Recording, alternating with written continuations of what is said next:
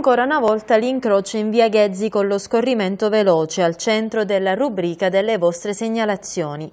È stato proprio un automobilista a fermarsi all'incrocio e a documentare come la segnaletica verticale, completamente vetusta e arrugginita, vada sostituita celermente. Non solo le direzioni indicate sono praticamente illeggibili, ma addirittura quella per Palermo è girata verso Ribera.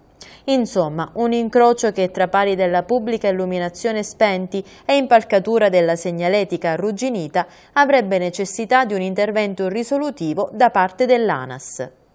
In pieno centro storico, in via Giuseppe Licata, ci segnalano invece una questione non di poco conto. Sabato scorso un'ambulanza è stata costretta ad accostarsi sul lato sinistro della strada per prestare soccorso.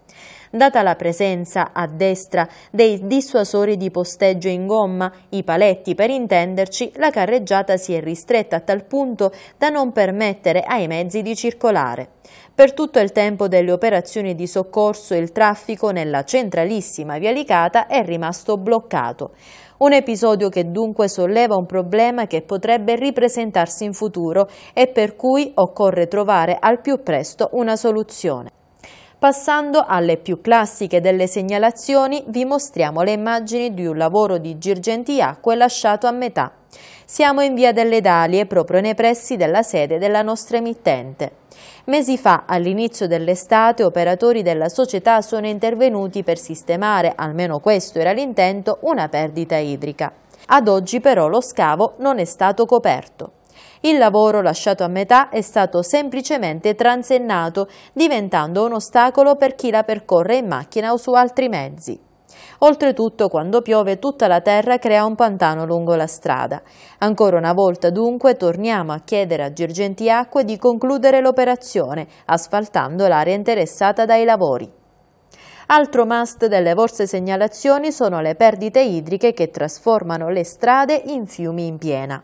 È il caso della via Dante Alighieri che per questo aspetto non ha mai trovato pace. Innumerevoli le perdite idriche che in più punti hanno interessato la strada.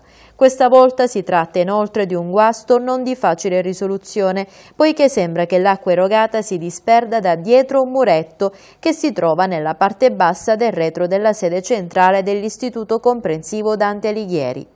Intanto litri e litri d'acqua non raggiungono le abitazioni vicine e si disperdono sull'asfalto da circa due mesi.